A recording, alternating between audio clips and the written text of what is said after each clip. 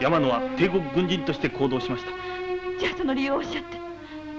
あなたの単独行動じゃないんでしょよしこは絶対に信じません。誰の命令です。大将ですか？大将の命令なんですか？おっしゃっておっしゃって名山のさ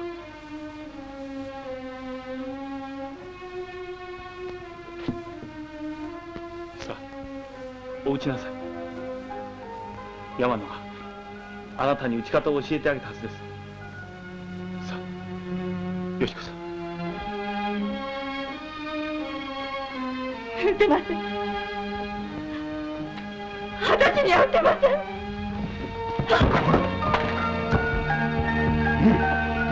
し